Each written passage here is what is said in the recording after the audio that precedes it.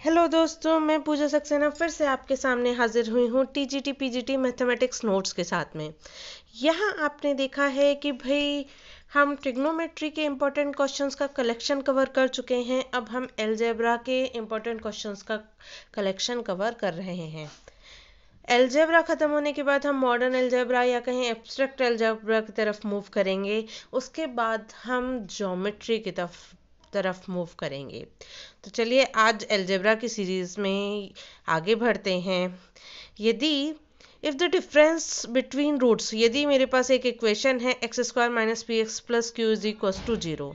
इसके दो रूट्स होंगे क्योंकि क्वाड्रेटिक इक्वेशन है। यदि उन दोनों के रूट्स का डिफरेंस वन है तो इक्वेशन हमें याद रखनी होगी p square plus four q square is equal to होता है वन प्लस टू क्यू का होल स्क्वायर नेक्स्ट हम बात कर लेते हैं कि इफ़ यदि इक्वेशन हो मेरे पास में a x square plus b x plus c is equal to zero और उनके रूट्स का सम जो है इक्वल हो उनके रूट्स के स्क्वायर के सम के, तब हमारे पास इक्वेशन होती है two a c is equal to a b plus के बी स्क्वायर नेक्स्ट हम बात कर लेते हैं कि यदि हमारे पास में equation a x square plus b x plus c is equal to zero और उसका एक रूट दूसरे रूट का थ्री टाइम्स है थ्राइस है, तब हमारी इक्वेशन हो जाएगी या कहें तब हमारा रिलेशन हो जाएगा three b square is equal to sixteen a c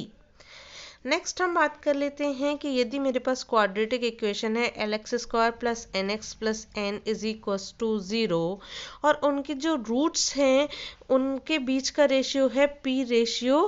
Q तब रिलेशन होता है अंडर रूड में पी अपॉन क्यू प्लस के क्यू अपॉन पी प्लस के अंडर रूट में एन अपॉन में l is equals to zero. Under root में p upon q plus under root में क्यू अपॉन पी प्लस के under root में n upon l is equals to zero. Next हम बात कर लेते हैं कि यदि हमारे पास में इक्वेशन है क्वाड्रेटिक इक्वेशन है a x square plus b x plus c is equals to zero और दूसरी क्वाड्रेटिक इक्वेशन है a dash x square plus b dash x plus c dash is equals to zero और इन दोनों के बीच में एक रूट जो है कॉमन है। तब हमारा जो रिलेशन बन जाता है, वो हो जाता है c a dash minus a c dash is equal to a b dash minus b a dash b c dash minus के सी बी डैश कह लीजिए, चाहे बी डी डैश सी कह लीजिए एक ही बात है। अगला है हमारा कि यदि one upon a plus one upon c is equal to two upon b हो और साथ में इक्वेशन दी हो quadratic a b minus c x square plus b c minus a x plus c a minus b is equal to zero ये given हो, ये equation given हो तो इस इक्वेशंस के जो रूट आते हैं, वो हमेशा इक्वल होते हैं। ठीक है दोस्तों, अगली वीडियो में हम बात करेंगे एल्जेब्रा की। नए क्वेश्चंस के बारे में या कहें नए क्वेश्चंस के कलेक्शन के बारे में। फिर मिलेंगे आपसे।